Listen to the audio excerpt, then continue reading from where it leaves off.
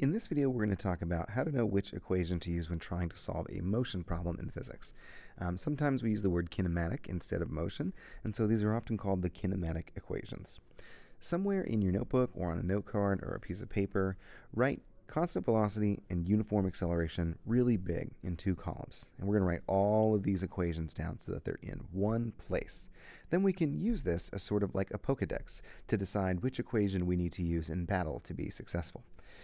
For constant velocity, there's only one equation. It is position equals average velocity times time plus initial position. Um, so the v with a bar above it, a bar above a letter means that it's the average. Um, and this little zero is something that we call the naught, uh, and it just means the initial position or the position at zero time. You can write this equation a lot of different ways. Um, it's basically just speed equals distance over time, rearranged in fun, fancy letters. Uh, but you can get away with solving any problem where an object is moving with constant velocity. Um, so like the cruise, you know, car and cruise control with that one equation. For objects that are speeding up or slowing down, we say that they're moving with uniform acceleration, meaning they're gaining speed um, the same amount every second. So either they're gaining speed or they're losing speed. Either one of those things, speeding up or slowing down, we call an acceleration.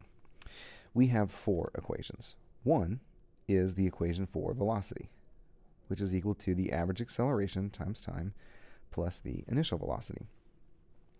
For position, since as you speed up or slow down, you're either gaining more distance as you go or less distance as you go, uh, we have two equations that we can use. One is just half of v plus v naught times t. That's the average velocity times time plus the initial position. Again, if you want, you can always take the initial position, subtract it from both sides so that you get x minus x naught, which is just delta x, and you have it on the left right there. Um, but for this equation sheet, I'm going to leave it as plus x naught. And if something doesn't tell me where it starts, I'm going to assume it starts at 0. The other equation we have for position is 1 half of the acceleration times time squared plus the initial velocity with time plus the initial position. And again, if I wanted to, I could write this as delta x on the left without the initial, initial position on the right, but I like to put the initial position on the right so that all of my variables are out there and I'm prepared for anything. There's one last equation we have for accelerated motion, and that's the ain't got no time equation. v squared equals 2 times the acceleration times x minus x naught, which we could, again, just write that as delta x. And in this case, I am going to include it as delta x, uh, plus the initial velocity squared. So here they are, all of our equations. Have these written down in one spot so that you can always go to that one spot and use it when trying to solve problems. Because physics problems are hard, like really hard, like so hard they make you want to cry. Like even just thinking about it, you're probably crying a little bit right now. That's totally fine. As a physics teacher, we like to say when you are up against a physics problem that you don't know how to answer, you should just guess. Uh, which is an acronym. Uh, this stands for Givens, Unknowns, Equations, Solve, and Simplify. It's a simple acronym to help you remember a problem solving process, where to get started and where to go next. Let's use it in a couple of examples. A small dog is at rest eating your chalupa. You confront the bandit and he runs away from you, speeding up at a rate of 0.5 meters per second squared. How much time does it take for this lowlife to run 16 meters? Okay, so I'm going to start with givens. This means I look at the information that is given to me. Uh, and the first thing that stands out to me is this speeding up at a rate of 0.5 meters per second squared. I know that that is the acceleration. The unit is the dead giveaway. So acceleration equals, sorry, not A equals A, that's insane. Um, instead, we're going to write 0.5, like a normal person, meters per second squared. Okay, so that's the acceleration. The next thing I notice that it gives me uh, is this 16 meters. So I could do a couple of things. I could write 16 meters is the displacement, delta x equals 16 meters. Um, or uh, what I like to do is I like to say the final position is 16 meters and the initial position, x naught, is 0. If it doesn't tell me what x naught is, I'm just going to assume that it's 0. And then I end up 16 meters from there. Okay, it also says the dog is at rest. That is a key given piece of information. It tells me my v naught, my initial velocity, is 0. Okay, so I've got a, x, x naught, v naught. That's my given information. Now I move on to the u and guess, which is unknown. What's the unknown thing they want me to find? That would be time. So what I'll do is I will write down t equals question mark to remind me that that is the variable I'm looking for. Now that I have all of these variables written down on my paper, I'm going to go to my Pokedex of motion equations and try and find the equation that has all of these things in it. So go to your motion equations.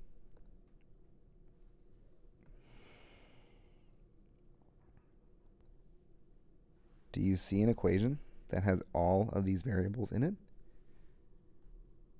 Do you? Do you? It's this one. x equals 1 half at squared plus v naught t plus x naught. If you were able to see that that was the right equation, good job. Golf clap for you. Let's start solving it. So givens, unknowns, equations, solve. When I solve an equation, I like to do two things. First, I want to get rid of anything that is 0, because if it's 0, it goes away. Then I will rearrange to get the thing I'm looking for by itself. Let's take a look at any zeros. The initial position is 0, so that goes away. If you got pencil, we cross it out. If you don't have a pencil, get a pencil. The initial velocity is also 0. So that means I can get rid of v naught times t, because 0 times anything is 0. It disappears. Congratulations. At this point, I'm still solving, and before I plug any numbers and units in, I'm just going to rearrange this equation to get t by itself. That way, when I plug in the numbers, it's very easy, and I don't have to move a bunch of numbers and units around like an idiot. I'm a really smart person, and I am plugging it into an equation I've made. So let's do algebra on letters. It's not that hard. Multiply both sides by 2. Good job. Now, divide by a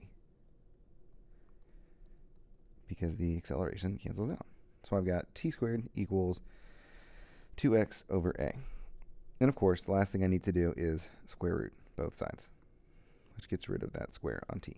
Okay, so to find the time, I need to plug in my numbers and simplify. That's the last s.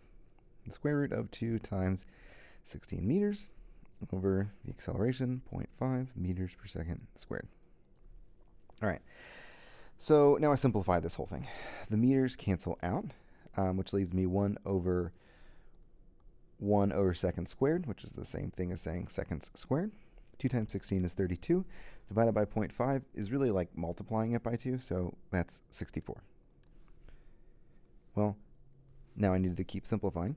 I square root 64, which is 8, and the square root of s squared is s. So the time it took is 8 seconds. Oh my god, you did so good. I'm so proud of you. Congratulations. You're physicsing. Let's do another example. The CEO of SoundCloud leaps for joy after exploiting teenagers for millions of dollars. Before leaping, he is at rest. After 0.2 seconds of pushing off the ground, he is traveling up with a speed of 3 meters per second. What is his acceleration? Okay, so let's start with the given information. Um, right away, I see this at rest thing, and I remember at rest means the initial velocity is zero. Always like the most important thing that you can be given. Then I notice the time is 0.2 seconds. So I write it down because it's super easy and it helps me know what I'm doing. And I know you don't like to show your work, but Jesus, just show some work. All right, next, I'm told the velocity at the end is 3 meters a second. So I call that v. Ooh, and the acceleration is my unknown, the thing I want to find. Okay, so now I've got my givens and my unknowns. I go to my equations. I go to my equations and I think, what equation has V naught, T, V, and A in it? Go to your equations and see if you can figure out which one it is. Did you figure it out? Did you get V equals AT plus V naught? If so, snaps for you. Okay, now we solve. Plug in anything that's 0, which I see my initial velocity is 0, so this goes away. And rearrange to get a by itself, which is really easy. I just divide both sides by t. Divide both sides by t. I'm going to get the acceleration is v over t, or 3 meters a second divided by 0.2 seconds, which will give me 15 meters per second per second or meters per second squared. Good job. You're doing great. Let's do another. You're cruising 3 meters a second on your skateboard when you realize a parked car is 12 meters in front of you. You power slide to a stop, narrowly avoiding the car. What was your acceleration while sliding to a stop? Okay, so let's start with G, given, right, on our guess method. Uh, I'm given that I'm going 3 meters a second, so that's my initial velocity. Then I realize there's a parked car 12 meters in front of me. That tells me that I'm going to make my initial position 0 and my final position 12, because the car is 12 away from where I'm at at that moment. Then I power slide to a stop. Ooh, stop. What does that mean? That means your final velocity is 0. Good job. Uh, and it wants you to find the acceleration. Okay, so now I look for an equation that has v naught, x naught, x, v, and a, which remember, if we want, we can call x naught and x, we can do x minus x naught. That's what delta x is, it's x minus x naught, which should just be 12 minus 0, or 12. So we can always call that 12 delta x if we want. But I'm going to go look at my equations, and I'm going to think which one has all of this information in it. Do you see it? Let me ask you this. Which equation doesn't have time? Oh my god, there isn't time. What do we do? We use the ain't got no time equation. The ain't not got no ain't got no time equation is a really good and useful equation to use if they don't give you time. It's pretty easy. That's why I call it that. Okay, so now let's solve. Um, the final velocity is zero. That's important. That means this goes away. Um, and since there's nothing on the left, and that's really weird, I'm just going to write a zero because there's nothing on the left because zero is nothing. Or is it something because it represents nothing? I don't know. Now I need to get a by itself. So to get the acceleration by itself, I would subtract v naught squared from both sides. And then I see I need to get rid of the 2 and the delta x. So I would divide by 2 and delta x, because when I divide the right by 2 and delta x, 2 goes away, 2 goes away, delta x, it goes away. Great. So now I have the acceleration is negative v naught squared over 2 delta x. Fantastic. Uh, negative 3 meters per second, the whole thing squared.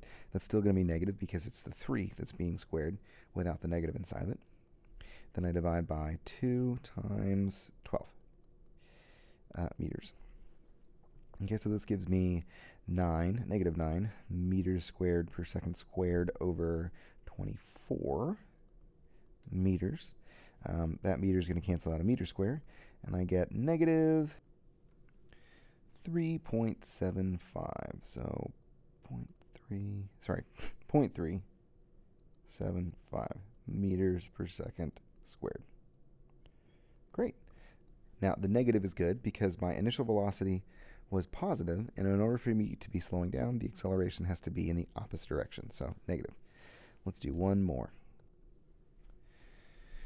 You scootin' on a sick razor with a constant speed of 3 meters per second. How much time does it take you to go 10 meters? Let's start with the given information. Constant speed. Constant speed. God, there's something about constant. What does constant mean? Oh, yeah, constant speed, so constant velocity. That means I'm not speeding up or slowing down, which means I just need to use this one equation. Oh, that's great. Well, that should be easy when it comes to the equation part. But anyway, let's see what they give me. So that 3 meters a second, since, since it's not changing, I can call that the average, um, because the average of something that's not changing is just that number like if I have if I'm going three miles an hour and then later I'm going three miles an hour and I ask you what my average was, it would be three miles an hour. So we'll just call that the average, not the beginning or the ending. So it's not v or v naught. The average velocity is three and 10 meters. Okay, so that means I could either write this as delta x equals 10 meters, or I'll say x naught equals 0, x equals 10. I like that one. All right, now I think about what's unknown. Time. So time is the thing that I want to find. Now, I already know my equation because it's constant speed. There's only one equation. I don't even have to think about it. That is the equation. It's awesome. It just always works. uh, but I do need to solve it. So let's get rid of things that are zero. The initial position is zero. It's funny to x out an x, isn't it? And to solve for time, I need to divide both sides by the average velocity, because then the average velocity goes away. Okay, so time is x over v, or 10 meters over 3 meters per second. Meters cancel out, and I'm going to get 3.3 forever, or repeating. Uh, and 1 over 1 over seconds is the same thing as saying seconds. Voila, we solved the problem. Okay, you're awesome. You know you're awesome. You can do physics. And if you actually got to the end of this video, then that's great because you're super smart. And the other people that didn't get to the end of this video, they're not as smart because they think they can do it, but they didn't do it. And it's not going to be good for them, but it's going to be good for you. And if you need more help, you can just go back to this video and you can see the problem that you, you know, had some trouble with and it's going to be great and awesome and you're super cool and you're going to be so successful and everybody likes you and one day you're going to find that dog or cat that you've always been looking for or maybe a chinchilla. This video is over.